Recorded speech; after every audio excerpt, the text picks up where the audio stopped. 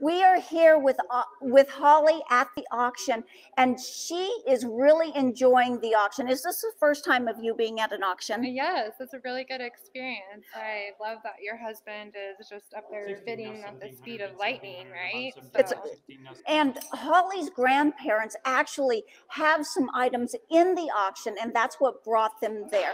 Are they pretty excited about selling their items here at Western Trading Post? well, it's bittersweet because they are sentimental, but the items were sitting in basically a closet for the past 40 years. My grandparents got it when they owned the Ford agency in Holbrook, and so they would buy Native American jewelry or trade with Native Americans in Holbrook. So there is a lot of value behind it, but we want to offer it to other people for them to enjoy.